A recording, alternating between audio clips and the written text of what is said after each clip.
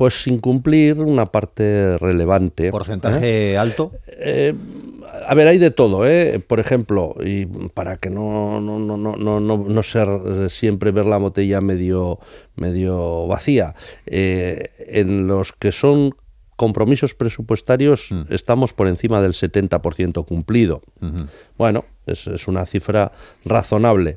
En el resto hay cosas que, que no hemos, eh, en las que no hemos eh, tenido respuesta satisfactoria por parte del gobierno, que son desgraciadamente los de mayor núcleo, músculo político, ¿no? como puede ser la culminación del Estatuto de Autonomía, el empezar a hablar de un nuevo estatus para Euskadi y también nosotros abierto a Cataluña, eh, todos los, los temas que tienen que ver con el modelo de Estado, con la necesaria y urgente transformación del modelo de Estado.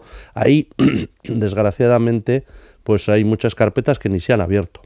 Bueno, respecto a varias cosas que ha citado usted ahora, respecto a las transferencias, bueno, es un poco de déjà vu esta pregunta, pero parece que ahora sí hay un acercamiento, ¿no?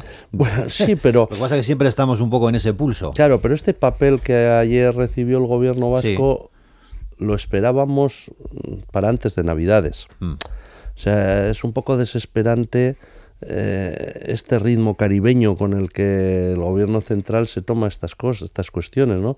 Y para hacer traslado de, unos, de, de una nueva posición que era poner negro sobre blanco una reunión que había habido antes, pues nos hemos demorado dos meses, ¿no? Un mes y medio. Claro, es, en política los tiempos también eh, demuestran voluntades. Cuando uno quiere actuar con prisa, ya lo hace. ¿eh? Ellos son los reyes del decreto ley, eh, que es la, ¿no? la, la fórmula legal más rápida, y que a los demás no nos da mucho tiempo ni mucha oportunidad para plantear enmiendas ni para dilatar las cosas. Tenemos que decir sí o no. Mm. Bueno, pues ellos luego son bastante lentos en la operativa de sus, pues en este caso del traslado de, de un tema que está súper maduro, como es el de los, trenes, de cercanías. ¿no?